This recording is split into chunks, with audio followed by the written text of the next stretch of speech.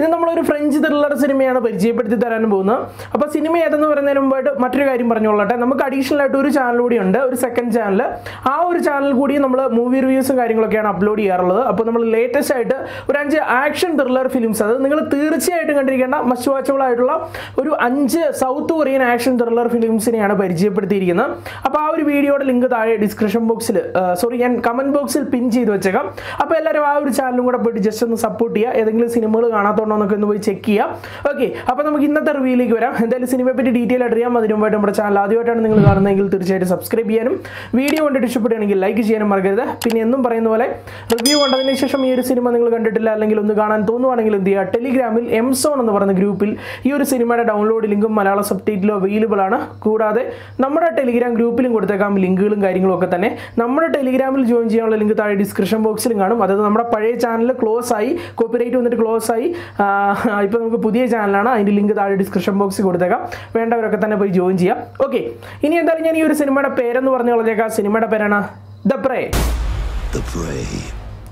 The പ്രേ രണ്ടായിരത്തി പതിനൊന്നിൽ പുറത്തിറങ്ങിയിട്ടുണ്ടായിരുന്ന ഈ ഫ്രഞ്ച് ആക്ഷൻ ത്രില്ലർ ഫിലിമിന്റെ ഒരു മൊത്തത്തിലുള്ള കഥാപശ്ചാത്തലം എന്താണെന്ന് ചോദിച്ചു കഴിഞ്ഞാൽ നമ്മുടെ ചിത്രത്തിലെ വില്ലന്റെ പുറകെ നായകൻ പോവുകയാണ്. പിടിക്കാൻ അതായത് വില്ലനെ പിടിക്കാൻ വേണ്ടി നായകൻ പോവുകയാണ്. അപ്പോൾ ഇതാണ് ഒരു ബേസിക് ആയിട്ടുള്ള പ്ലോട്ട് എന്നുള്ളത്. എന്തായാലും നമുക്ക് ഡീറ്റെയിൽ ആയിട്ട് നോക്കാം. ഈ ഒരു സിനിമ എങ്ങനെയുണ്ടെന്ന്.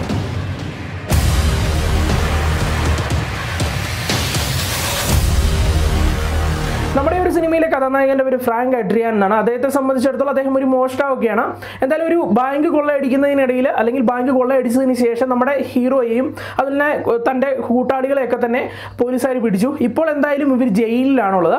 എന്തായാലും കോടതിക്ക് അറിയില്ല.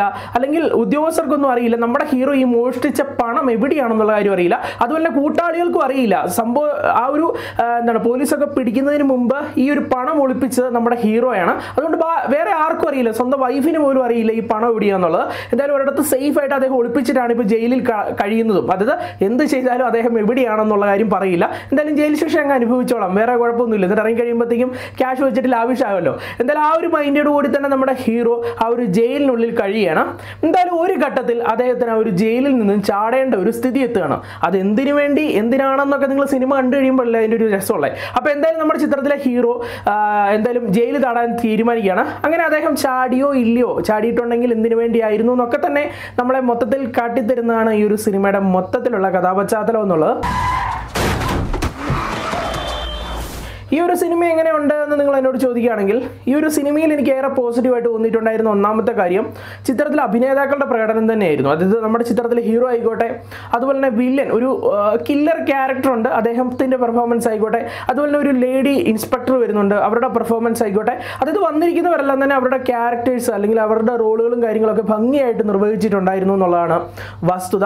അത് തന്നെയായിരുന്നു എനിക്ക് ഇഷ്ടപ്പെട്ടിട്ടുണ്ടായിരുന്ന ആദ്യത്തെ കാര്യം. രണ്ടാമതായിട്ട് ടെക്നിക്കൽ സൈഡിലേക്ക് വരുമ്പോഴത്തേക്ക് എല്ലാ മേഖലയിലും അതിപ്പോൾ സിനിമാറ്റോഗ്രഫി മുതൽ ബാക്ക്ഗ്രൗണ്ട് സ്കോർ വരെ വളരെ മികവാർന്ന രീതിയിൽ അതത് കാണുന്ന പ്രേക്ഷകരെ ത്രില്ലടിപ്പിക്കുന്ന രീതിയിലൊക്കെ തന്നെയായിരുന്നു അത്തരത്തിലുള്ള കാഴ്ചകളും കാര്യങ്ങളും ഒക്കെ തന്നെ കാഴ്ചവെച്ചിട്ടുണ്ടായിരുന്നു എന്തായാലും അതും ഒരു പോസിറ്റീവ് ഘടകമായിട്ട് തോന്നി. ഇനി ചിത്രത്തിന്റെ സ്റ്റോറി അതുപോലെ സ്ക്രീൻ പ്ലേയിലേക്ക് വരുമ്പോഴത്തേക്കും ഇവരെടുത്തിരിക്കുന്ന ഒരു സ്ക്രിപ്റ്റ് എന്നുള്ളത് അത്യാവശ്യം നമുക്ക് ഒരു ഫാമിലി ഓറിയന്റഡ് സബ്ജക്റ്റ് എന്ന് വേണമെങ്കിൽ പറയാൻ സാധിക്കും. അതായത് ഇപ്പം എന്താണ് ഫാമിലിയൊക്കെ ആദ്യം മുതൽ അവസാനം വരെ ഇരുത്തി കാണിക്കാവുന്ന രീതിയിലുള്ള ഒരു സബ്ജക്റ്റാണ് ഇവരെടുത്തിരിക്കുന്നത് അതിലും കുറേ ത്രില്ലർ എലമെന്റ്സും കാര്യങ്ങളൊക്കെ ആഡ് ചെയ്ത് തന്നെയാണ് സ്ക്രീൻ പ്ലേയും കൈകാര്യം ചെയ്തിരിക്കുന്നത് സോ എല്ലാത്തരം ഓഡിയൻസിനും അത് നമ്മളിപ്പോൾ ഒരു കൊച്ചു മുതൽ മുതിർന്നവരെ വരെ ആദ്യം മുതൽ അവസാനം വരെയും ഇരുത്തി കണ്ട് അവരെ എൻജോയ് ചെയ്യിപ്പിക്കാൻ സാധിക്കുന്ന തരത്തിലുള്ള ഒരു കഥാഗതിയും അതിനനുസരിച്ചുള്ള സ്ക്രീൻ പ്ലേ ഒക്കെ തന്നെയായിരുന്നു ഈ ഒരു സിനിമയിൽ ഉണ്ടായിരുന്നത്.